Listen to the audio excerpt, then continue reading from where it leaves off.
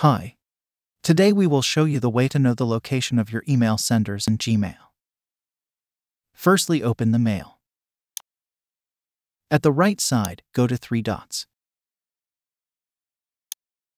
Click on Show Original. Here find the IP address with some numerals. Copy it. Now search for IP lookup.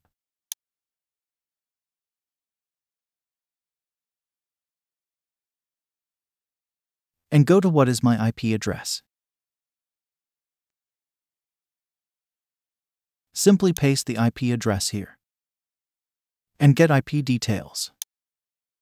And you can see that this email is from California, USA.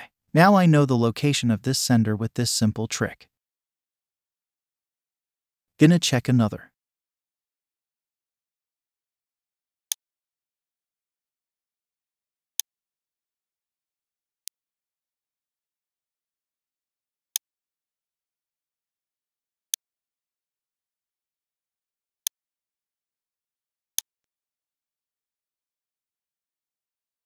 This mail is from Westfalen, Germany or Deutschland.